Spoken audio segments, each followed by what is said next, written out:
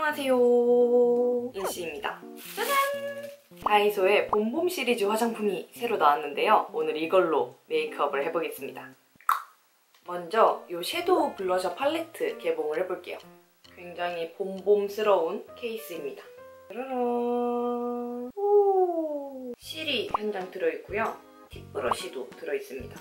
그리고 색 조합 색 조합이 굉장히 daily daily 하면서도 손이 자주 가는 컬러들로 구성이 되어 있더라고요. 이런 coral 컬러들이나 음영 넣을 수 있는 컬러, highlighting이나 포인트 주기 좋은 컬러 이거는 작정하고 daily템으로 만든 것 같아요.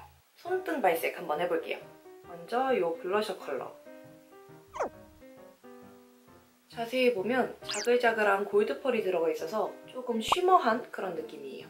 그리고 굉장히 고르게 발렸고 질감이 뽀송뽀송한 그런 느낌이에요. 블러셔 한번 얼굴에 발라볼게요. 브러쉬에 묻혀서 화사해 보이게 볼 중앙에 올려줄게요.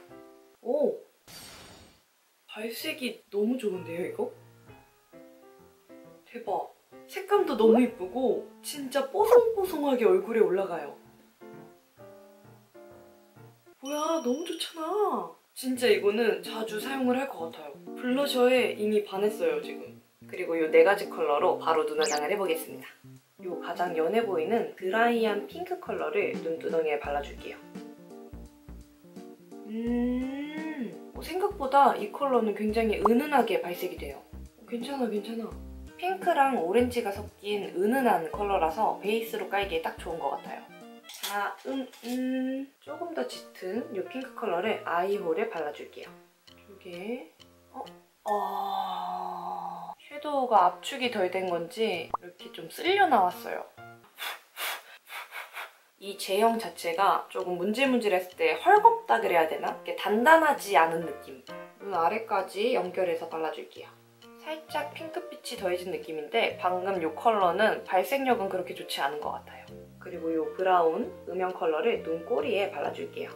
브라운은 발색이 좋아야 되는데 음, 오 괜찮아 괜찮아. 이 위에까지 올라와서 발라줄게요.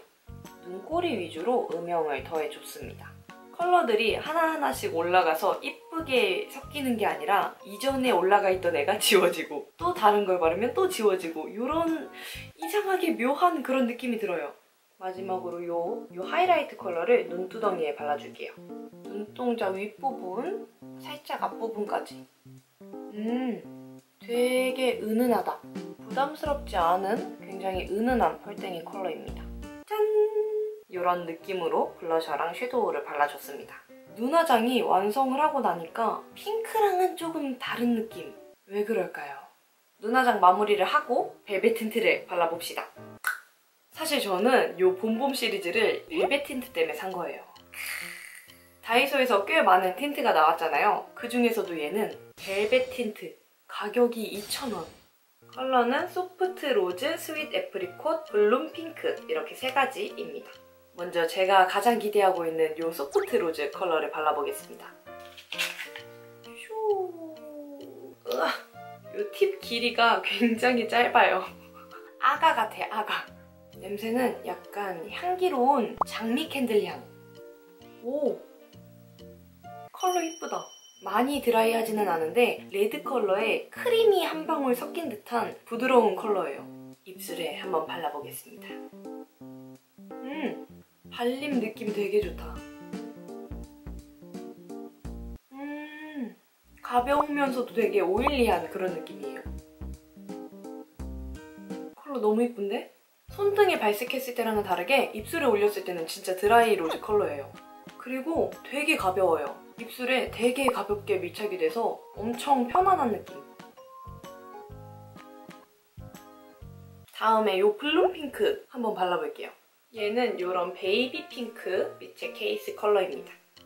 음, 얘는 푸시아 핑크 느낌도 나고 굉장히 쿨한 느낌의 그런 핑크입니다. 입술에 발라볼게요. 아, 갑자기 얼굴에 형광등이 딱 들어온 느낌. 봄을 저격해서 나왔네, 컬러들이. 너무 화사하다, 그쵸? 되게 화사하고 얼굴에 생기가 생긴 그런 기분이에요, 지금. 마지막으로 sweet apricot 컬러를 발라보겠습니다. 보라보라 찐보라 어? 연보라빛일 거라고 생각을 했는데 오렌지빛이에요. 오, 굉장히 당근당근한 그런 컬러입니다. 입술에 오 입술에 올리니까 coral 컬러예요.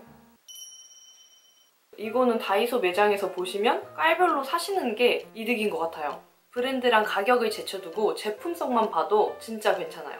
이 팔레트에서는 섀도우가 발림이나 밀착이나 발색력이 조금 아쉬웠는데 블러셔가 굉장히 이쁘기 때문에 블러셔 때문에 추천! 지금까지 다이소 봄봄 시리즈 리뷰 영상이었고요. 오늘도 인씨 영상 봐주셔서 너무너무 감사하고 다음에 더 이쁘고 유용한 영상으로 만나요. 안녕!